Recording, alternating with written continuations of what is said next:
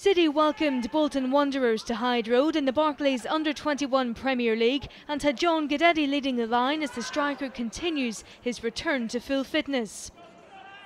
20 minutes in and Jack Sampson gave the Trotters the lead with a fine strike. It took just five minutes for the Blues to level, Denis Suarez finding Jose Angel Pozo on the edge of the box and the Spaniard shot nestled in the back of the net via a deflection. Suarez then stung the palms of the Bolton keeper after some neat build-up play involving Greg Leigh and Guidetti.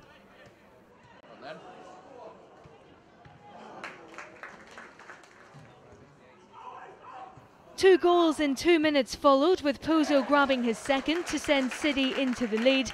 But an own goal from Dedryck Boyata meant the two teams went into half-time level. On the hour mark came a moment that will please all City fans. John Guidetti rising to meet Leigh's cross and powering a header into the back of the net. Rob Lainton was the busier of the two keepers in the second half and had to be at his best to deny the Blues on a number of occasions. Pozo was thwarted twice in quick succession with both attempts being saved by the feet of the keeper. Then came a chance for Guidetti. Again, it was a cross from the left, but this time he glanced his header wide.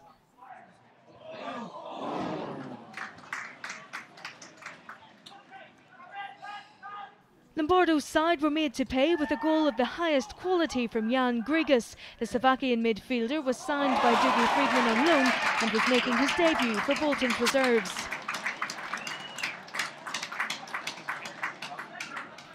City almost won the game in stoppage time. Guidetti combined brilliantly with Suarez, but his shot went just over the bar.